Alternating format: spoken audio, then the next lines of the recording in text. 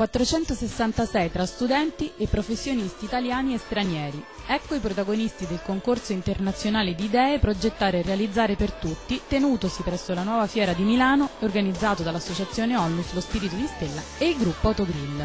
La manifestazione, giunta alla sua quarta edizione, patrocinata dall'Associazione per il Disegno Industriale e Design for All Italia, è aperta a professionisti nel campo dell'architettura, della progettazione, del design e a studenti di architettura, ingegneria e disegno industriale.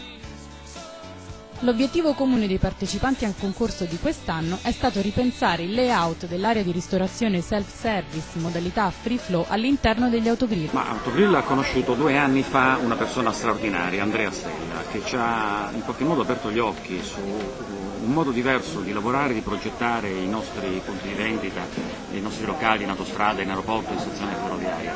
Anziché progettare eh, solamente per esigenze di tipo eh, funzionale o per elementi estetici e poi applicare i vincoli, per esempio i vincoli normativi legati alla mobilità dei disabili, lui ci ha fatto capire che tenendo conto subito di tutte le esigenze il normodotato e il disabile, il bambino e la persona adulta, l'anziano e la donna incinta.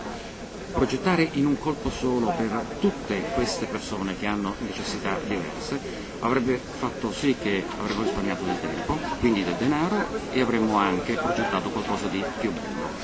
Quindi eh, abbiamo sposato la sua filosofia che non è soltanto un bel messaggio etico e anche un miglior risultato economico. Quest'anno ci sono molti progetti molto interessanti, eh, ma in realtà il concorso di quest'anno aveva caratteristiche diverse. Eh, non è stato progettato un oggetto, ma un mondo, un universo. Il mondo del ristorante è composto di tanti oggetti diversi.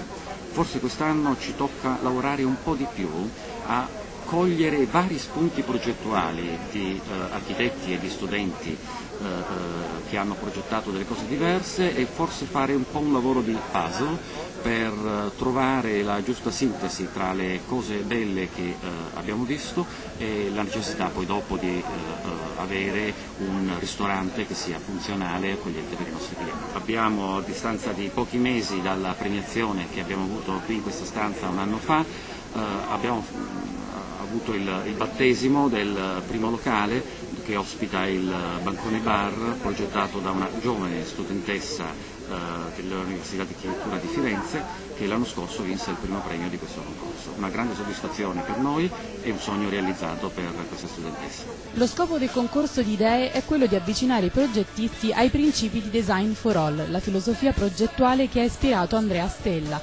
fondatore della stessa associazione Onlus, lo spirito di Stella. Il giovane velista vicentino, dopo essere rimasto vittima di un'inspiegabile aggressione, alcuni mesi dopo l'episodio decide di riprendere il mare, ma scopre che al mondo non esistono imbarcazioni in grado di ospitare senza distinzioni persone normodotate e persone disabili. Con il sostegno della famiglia realizza dunque il primo catamarano al mondo costruito senza barriere architettoniche che consente di vivere la barca e il mare senza distinzioni sia alle persone disabili che a quelle normodotate. Presenti alla quarta edizione dell'evento internazionale, oltre ad Andrea Stella e tutti i membri della giuria, il campione rosso-nero Clarence Seedorf che ha voluto contribuire con la propria immagine al successo dell'iniziativa per la sua particolare sensibilità nei confronti delle tematiche che riguardano il terzo settore.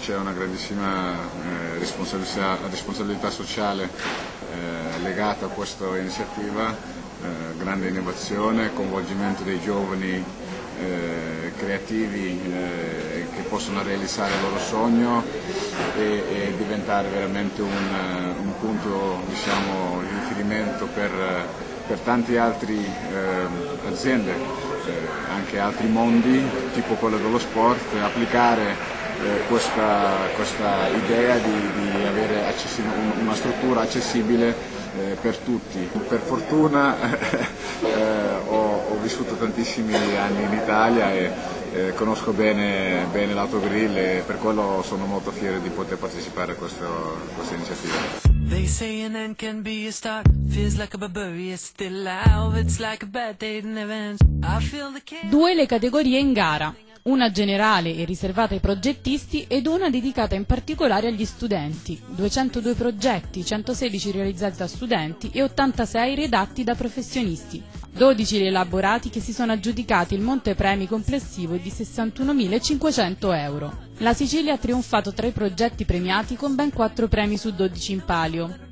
Forte inoltre è stata la partecipazione a livello internazionale da parte di studenti provenienti da Canada, Francia, Spagna, Grecia e Romania. La giuria ha visto anche la partecipazione di alcune personalità, tra cui l'architetto Daniela Volpi, presidente dell'Ordine degli Architetti della provincia di Milano, della dottoressa Serena Campana, direttore marketing di Autogrill Spa e del dottor Gabriele Milani, direttore delle vendite di Autogrill. Vincitore del concorso è stato il progettista milanese Federico Castelmare per quanto riguarda la categoria generale dei progettisti. Tra gli studenti delle università che hanno partecipato al concorso una menzione speciale è andata alla Facoltà di Architettura di Palermo che si è aggiudicata il primo e il secondo posto. Uniche tra gli studenti a rientrare nella classifica generale e che dunque avranno la soddisfazione di vedere realizzati i loro progetti un trio di studentesse siciliane della Facoltà di Architettura di Palermo che si sono aggiudicate invece il terzo posto sul podio.